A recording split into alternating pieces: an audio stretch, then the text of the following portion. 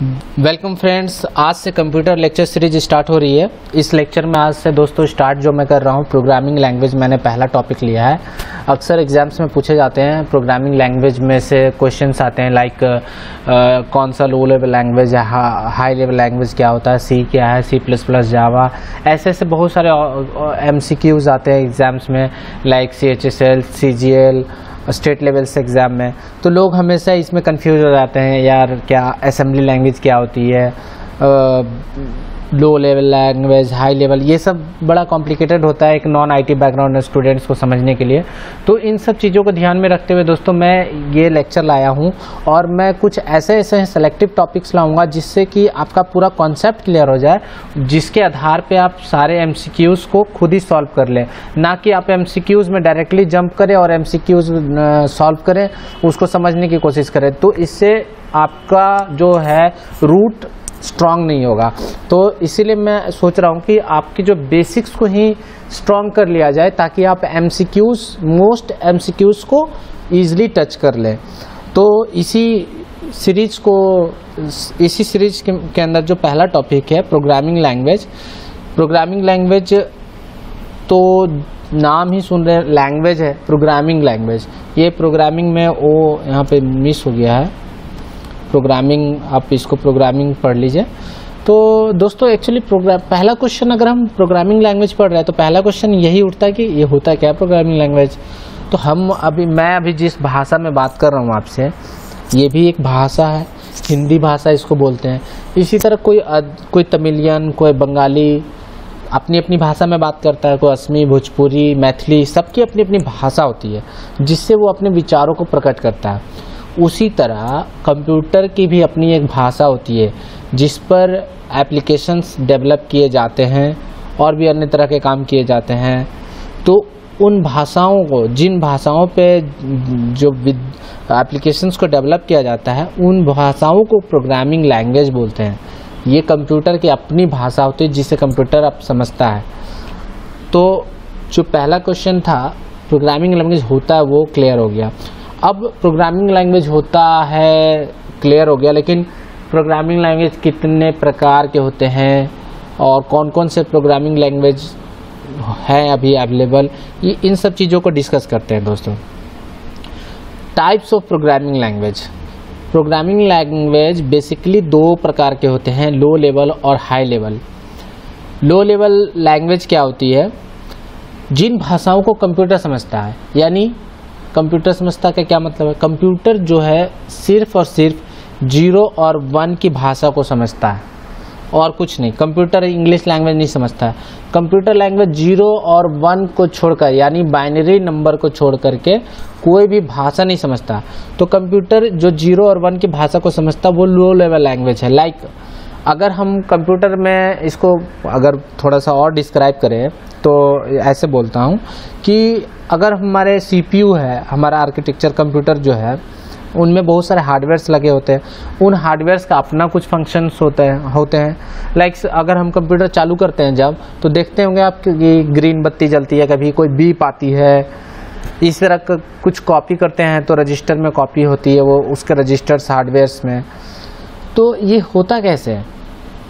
तो ज़रूर डेफिनेटली कोई प्रोग्रामिंग की भी होती है, तभी तो होता है। अगर एक रिमोट वाला रिमोट ले लेते हैं जिससे रिमोट हम जब रिमोट को दबाते हैं तो दरवाज़ा खुल, जो ऑटोमेटिक दरवाज़ा ऑटोमेटिक खुलने वाला होता है तो रिमोट जब दबाते हैं तो दरवाज़ा ओपन हो जाता है। तो कैसे होता है? ज़रूर उसमें कुछ प्रोग्रामिंग की होती है। उसी तरह कंप्यूटर में जो प्रोग्रामिंग की होती है, जो हार्डवेयर को मैनिपुलेट करता हो कंपोन, हार्डवेयर कंपोनेंट्स को मैनिपुलेशन करने के लिए जो लैंग्वेज यूज़ करते हैं, वो लो लेवल लैंग्वेज के अंतर्गत आती है। अब लो लेवल लैंग्वेज भी दो प्रकार के होते हैं। एक होती है मशीन लैंग्वेज और एक होती है असेंबली लैंग्वेज अब जो, अभी हम, हमने स्टार्ट किया था प्रोग्रामिंग लैंग्वेज से। तो प्रोग्रामिंग लैंग्वेज में हमने डिस्कस किया दो प्रकार के होते हैं लो लेवल और हाई लेवल अब लो लेवल क्या होती है और हाई लेवल क्या होती है? तो लो लेवल मैंने बताया कि जो भाषा को कंप्यूटर समझती है, यानी ज़ीरो और वन, यानी binary numbers binary binary numbers को जो समझती है, कंप्यूटर की भाषा होती है लो लेवल लैंग्वेज के अंतर्गत आती है।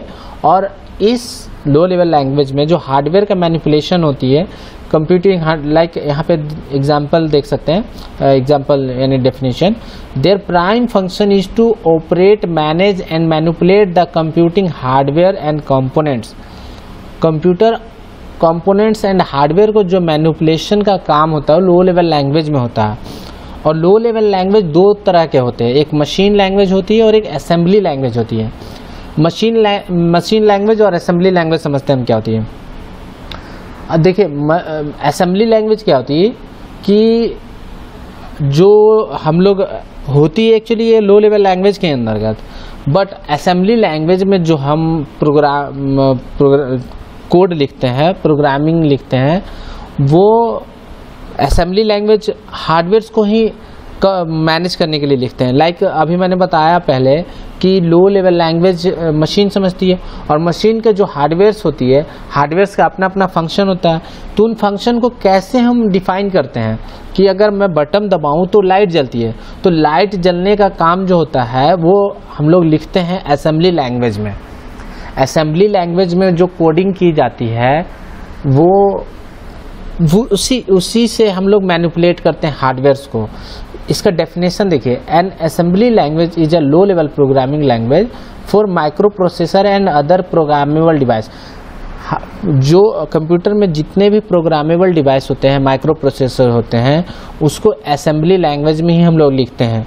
और जो लिख, इसमें जो हम लोग यूज़ करते हैं नेमोनिक्स यूज़ करते हैं नेमोनिक्स लास्ट टाइम एक एग्जाम्पल्स भी क्वेश्चन भी आया था सीजीएल में नेमोनिक्स क्या होता है?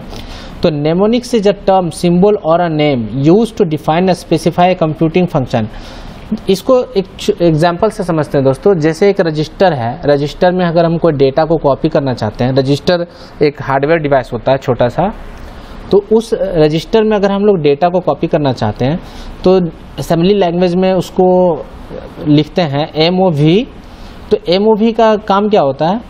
Is used in assembly language for copying and moving data between registers and memory locations इसी तरह ऐड भी एक होता है। नेमोनिक्स और सब एस यू भी सब भी होता है, जोड़ने के लिए, घटाने के लिए। तो असेंबली लैंग्वेज में हम लोग इस इस नेमोनिक्स को यूज़ करके प्रोग्राम करते हैं डिवाइसेस को माइक्रो प्रोसेसर को और अदर भी प्रोग्रामेबल डिवाइस जितने भी हैं कंप्यूटर के। लेकिन अब क्वेश्चन होता है कि दोस्तों की कंप्यूटर तो मशीन समझता मशीन भाषा समझता, वो इंग्लिश तो समझता नहीं है M O V A double D S U B तो कंप्यूटर आखिर ये जब इंग्लिश नहीं समझता है तो ये फिर असेंबली लैंग्वेज को कैसे समझता? तो इस असेंबली लैंग्वेज को जो हम लोग लिखते हैं M O V A one B one इस तरह तो इसको भी असेंबलर कन्वर्ट करता है मशीन लैंग्वेज में, यानी ज़ीरो और वन में। यानी अगर मैं एक कॉपी करने के लिए या मूव करने के लिए अगर असेंबली लैंग्वेज में कोई कोड लिखता हूँ नेमोनिक्स यूज़ करके M O V A one B one तो इसको कन्वर्ट किया जाता है। असेंबलर असेंबलर द्वारा। तो जो असेंबलर का काम क्या, अब इससे एक चीज़ और क्लियर हो रही है कि असेंबलर क्या होता है। तो जो असेंबली लैंग्वेज को कन्वर्ट करके मशीन लैंग्वेज में कन्वर्ट करता है, उसको असेंबलर बोलते हैं। यानी assembler is a converter to convert the assembly language into a machine language क्योंकि कंप्यूटर तो सिर्फ़ मशीन लैंग्वेज समझता है ज़ीरो और वन ज़ीरो और वन के अलावा कुछ भी नहीं समझता कंप्यूटर तो असेंबली लैंग्वेज मुझे आशा है असेंबली लैंग्वेज समझ में आ गया होगा कि हार्डवेयर कंपोनेंट्स इसके और जो भी प्रोग्रामेबल डिवाइसेस है, उनको प्रोग्राम करने के लिए जिस भाषा का इस्तेमाल करते हैं, उसको असेंबली लैंग्वेज कहते हैं। और असेंबली लैंग्वेज नेमोनिक्स यूज़ करती है प्रोग्राम करने के लिए। उसमें से A double D M O V ये सब नेमोनिक्स का टर्म्स है। अब टर्म्स बोले वर्ड बोले सिंबल बोले, जो भी है, इसको यूज़ करते हैं। ये ह्यूमन के लिए थोड़ा आसान होता है लिखना assembly language but machine language में ज़ीरो वन वो काफ़ी डिफ़िकल्ट होता है। तो दोस्तों अभी तक हम समझ चुके हैं प्रोग्रामिंग लैंग्वेज क्या होता है लो लेवल लैंग्वेज क्या होता है। अब लो लेवल लैंग्वेज दो प्रकार के होते हैं असेंबली और मशीन असेंबली हम समझ चुके हैं कि जो हमारे डिवाइसेस कंप्यूटर कंपोनेंट्स जो प्रोग्रामेबल होते हैं, उसमें जो प्रोग्रामिंग की होती है, वो असेंबली लैंग्वेज में करते हैं। अब असेंबली लैंग्वेज के बाद आती है टर्म्स मशीन लेवल लैंग्वेज तो मशीन लेवल लैंग्वेज भी वही चीज़ होती है। Machine language is a set of instruction executed directly by computer CPU computers के सीपीयू द्वारा जो डायरेक्टली एग्जीक्यूटेबल होती है मशीन लेवल लैंग्वेज होती है, और हम जो असेंबली लैंग्वेज को लिखते हैं, उसी असेंबली लैंग्वेज को ये मशीन लेवल लैंग्वेज में कन्वर्ट करने के बाद ये कंप्यूटर उसको एग्जीक्यूट करती है मशीन हार्डवेयर में जो प्रोग्राम करते हैं, वो मशीन लेवल लैंग्वेज में कन्वर्ट हो जाती है. तो ये पूरा क्लियर है कि मशीन लेवल लैंग्वेज क्या होती है? मशीन को समझने की जो भाषा होती है ज़ीरो और वन में, यानी असेंबली लैंग्वेज जब कन्वर्ट होकर आ जाती है मशीन लेवल लैंग्वेज में ज़ीरो और वन में तो मशीन लेवल लैंग्वेज में हो जाती है और उसको कंप्यूटर समझ सकता है कंप्यूटर उसको फिर एग्जीक्यूट करता है वो इंस्ट्रक्शंस को। अब लो लेवल लैंग्वेज और हाई लेवल लैंग्वेज से ज़्यादा क्वेश्चन बनते नहीं एग्ज़ाम्स में बट वो मैं समझाने के लिए आपको इतना फोकस किया हूँ कि लो लेवल लैंग्वेज क्या होती है और असेंबली लैंग्वेज क्या होती है असेंबलर क्या होता है और मशीन लेवल लैंग्वेज क्या था machine level language zero one होती है ज़ीरो और वन के फॉर्म्स में होती है। अब उसके अलावा जो एग्ज़ाम्स में आते हैं कि हाई लेवल लैंग्वेज तो दोस्तों हाई लेवल लैंग्वेज क्या होती है कि जो ह्यूमन हम लोग समझते हैं। हम लोग अगर सी सी प्लस प्लस में अगर आप थोड़ा बहुत भी जान रहे सी सी प्लस प्लस अगर एक प्राइम नंबर फाइंड आउट करने के लिए सी में अगर कोड लिखते हैं या फिर इवन और ऑड नंबर फाइंड आउट करने के लिए जो प्रोग्राम लिखते हैं, वो हाई लेवल लैंग्वेज में होती है कि ह्यूमन रीडेबल होती है मोर वो ह्यूमन हम लोग ज़्यादा उसको समझ सकते हैं। तो जिस जिस भाषा को हम लोग समझते हैं बेसिकली वो हाई लेवल लैंग्वेज होती है। हाई लेवल लैंग्वेज फोर्ट्रॉन है कोबोल है प्रोलोग है Pascal C C plus plus Java Python Visual Basic Delphi Perl P H P E C M script Ruby C sharp ये सब high level language के प्रकार हैं। तो इस इस सीरीज़ में इतना ही दोस्तों, इसमें से ही क्वेश्चन आते हैं कि हाई लेवल लैंग्वेज अब जब भी क्वेश्चन आए एग्ज़ाम्स में कि हाई लेवल लैंग्वेज क्या होती है तो तुरंत दिमाग में लगाए कि हम लोग जो भाषा में कोड करते हैं, हम लोग इंग्लिश लैंग्वेज में जो कोड लिखते हैं हम लोग और हम लोग उसको समझ सकते हैं। हम लोग खुद लिखते हैं कंप्यूटर के लिए जो एप्लीकेशन डेवलप करते हैं जिस भाषा में, उसको हाई लेवल लैंग्वेज के अंतर्गत आता है।